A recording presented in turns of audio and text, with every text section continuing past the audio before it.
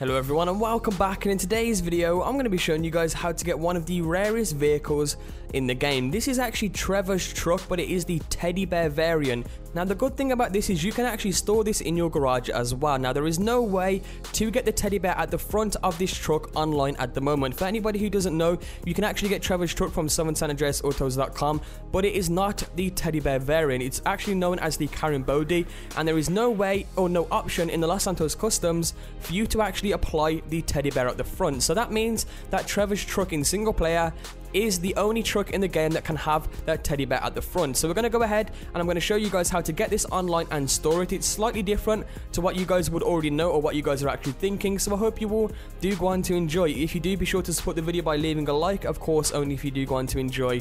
And without further ado, let's go ahead and jump straight into the video. So to start things off, the first thing that you guys want to do is go into a single player session as Trevor.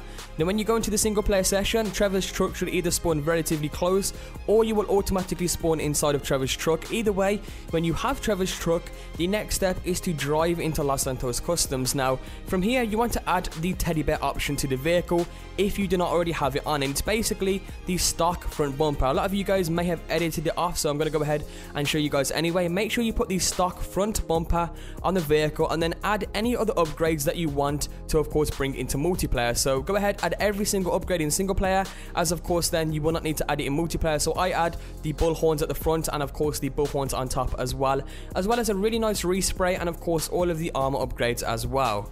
Anyway guys, once you have upgraded the vehicle and you have the teddy bear at the front of the vehicle, your next step is to go ahead and bring up your phone, then you want to go to your contacts, and then you want to select Franklin, and then you want to select Hang Out. And what this will do is it will cause Franklin to appear on the mini-map as an icon, in which you can then drive up to Franklin, and then of course you can hang out with Franklin. Now, before you get there, as you can see, the mini-map icon has appeared now for Franklin, so I'm going to go ahead, drive all the way over to Franklin, and as you guys can see, we're nearly there now. Now, just before you get to Franklin, you want to hold down on the D-pad and select Franklin, from single player. Of course, this will spawn you as Franklin, and as you can see now, we are now Franklin, and Trevor's truck, the vehicle that I just drove there, is now directly in front of me. So what you want to do is get inside of Trevor's truck as Franklin, then simply drive away and drive to the Los Santos Customs. Now, on the way there, it will say that you have abandoned Trevor, that's perfectly fine. Anyway, once you have made it over to the Los Santos Customs, what you then want to do is park just outside, then bring up your phone, then go ahead and make a quick save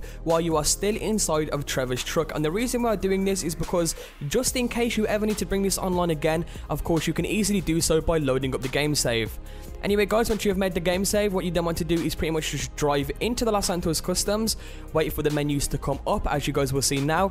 Now when the menus come up, what you then want to do is hit the start button, then simply go into an online session. Now once again, we are also going to be storing this vehicle online, just letting you guys know. But when you go into the online session, once again you can either go into an online session or an invite only session. I suggest invite only as you of course then you won't have to deal with online players while trying to store this.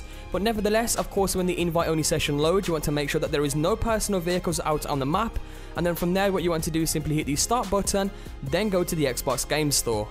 Now when the Xbox Game Store screen loads, what you then want to do is simply press B to back out, and when you press B to back out, it will now teleport you over to the Los Santos Customs inside of Trevor's truck with the teddy bear at the front of it. You now have Trevor's truck online with the teddy bear at the front, one of the rarest vehicles in the game considering you cannot get the teddy bear at the front online anymore, so it is definitely one of the rarest vehicles in the game. From here, you can either add a tracker and of course add full insurance from the Los Santos Customs, but that's kind of pointless and a waste of money considering you can just bring this vehicle into your garage as normal and get a tracker put on it that way. Hope you all enjoyed the video guys, you can now have Trevor's teddy bear truck online again and I hope you all did enjoy. If you did, be sure to support the video by leaving a like guys as it really would help me out. Also, I should have another video coming to you guys in a few hours, so make sure you guys are checking back to my channel for that.